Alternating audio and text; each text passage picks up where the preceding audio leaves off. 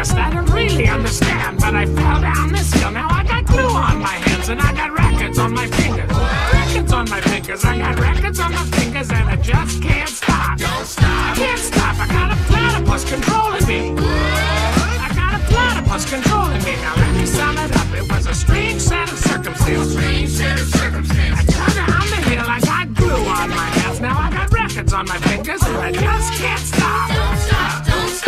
Don't stop. Well, I would if I was able. There's a platypus controlling me. He's underneath the table. There's a platypus controlling him. What? Oh, I get it. Platypus is a metaphor for whatever's keeping you down. Like corporations are a platypus. Government's a platypus. Your teacher is a platypus. My teacher is a panda. Society's